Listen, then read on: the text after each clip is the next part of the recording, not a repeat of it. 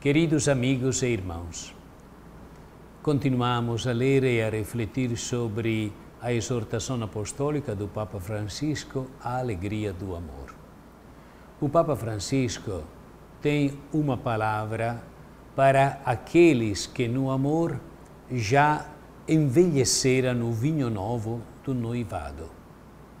Quando o vinho novo envelhece com esta experiência do caminho, então aparece, floresce em toda a sua plenitude a fidelidade dos momentos insignificantes da vida.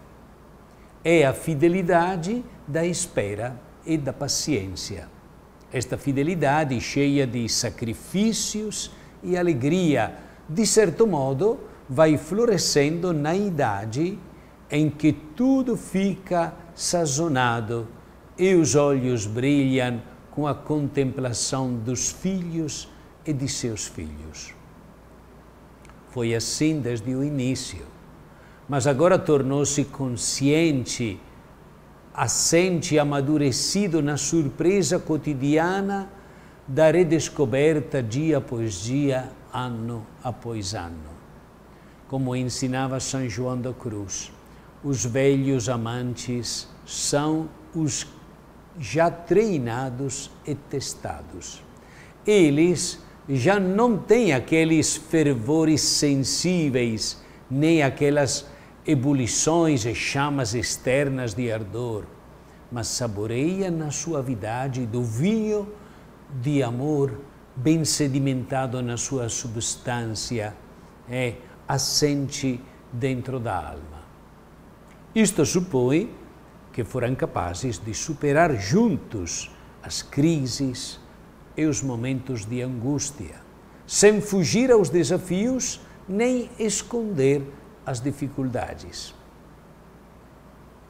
A história de uma família está marcada por crises de todo o gênero, que são parte também da sua dramática beleza.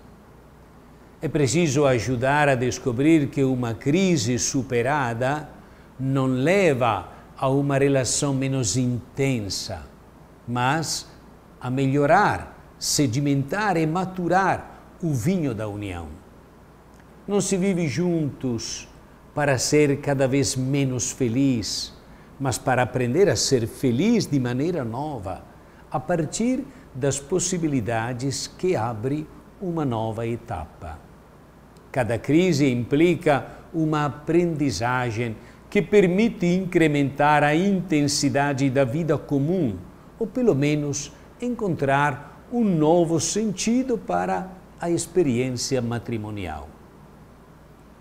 É preciso não se resignar de modo algum a uma curva descendente, a uma inevitável deterioração a uma mediocridade que se tem de suportar. Pelo contrário, quando se assume o matrimônio como uma tarefa que implica também superar obstáculos, cada crise é sentida como uma ocasião para chegar a beber juntos o vinho melhor. É bom acompanhar os cônjuges para que sejam capazes de aceitar as crises que lhes sobrevêm aceitar o desafio e atribuir-lhes um lugar na vida familiar.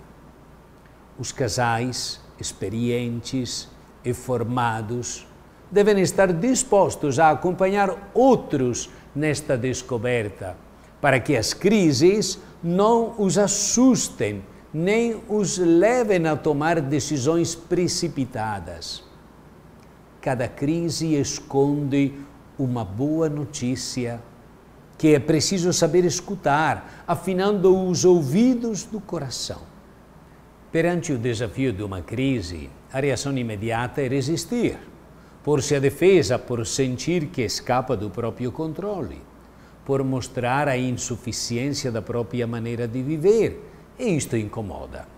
Então, usa-se o método de negar o problema, de escondê-los, de relativizar a sua importância, de apostar apenas em que o tempo passe. Mas isto adia a solução e leva a gastar muitas energias num escondimento inútil que complicará ainda mais as coisas. Os vínculos vão se deteriorando e consolida-se um isolamento que danifica a intimidade.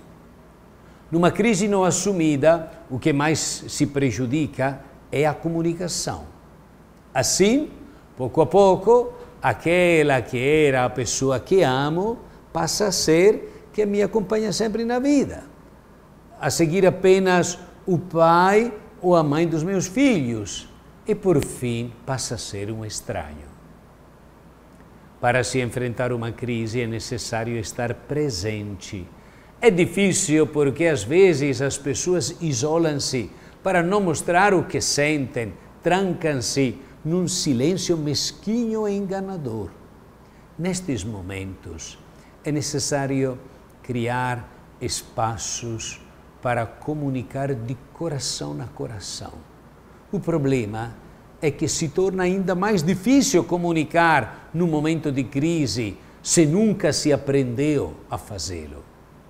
É uma verdadeira arte que se aprende em tempos calmos para se pôr em prática nos tempos burrascosos. É preciso ajudar a descobrir as causas mais recônditas nos corações dos esposos e enfrentá-las como um parto que passará e deixará um novo tesouro. Mas nas respostas às consultas realizadas antes do Sínodo, assinalava-se que, em situações difíceis ou críticas, a maioria não recorre ao acompanhamento pastoral, porque não o sente compreensivo, próximo, realista, encarnado. Por isso, nós temos que procurar agora nos debruçar sobre as crises conjugais com um olhar que não ignore a sua carga de sofrimento e de angústia. Há crises comuns que costumam verificar-se em todos os matrimônios, como a crise ao início, quando é preciso aprender a conciliar as diferenças e a desligar-se dos pais ou a crise da chegada do filho, com os seus novos desafios emotivos. A crise de educar uma criança, que altera os hábitos do casal.